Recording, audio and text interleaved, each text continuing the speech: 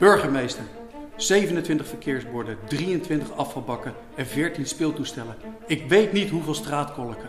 Burgemeester, dit is toch niet normaal? Bijna 20.000 euro aan schade, hè? En weet u dat huisje nog van vorig jaar? En dat stopbord, herinnert u zich dat nog?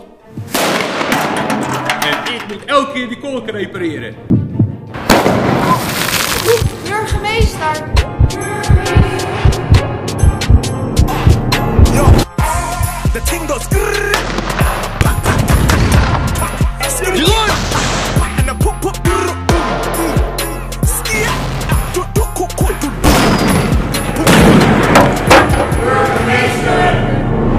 Ik kan maar één ding zeggen. Houd de boel heel. Dat doen wij ook. The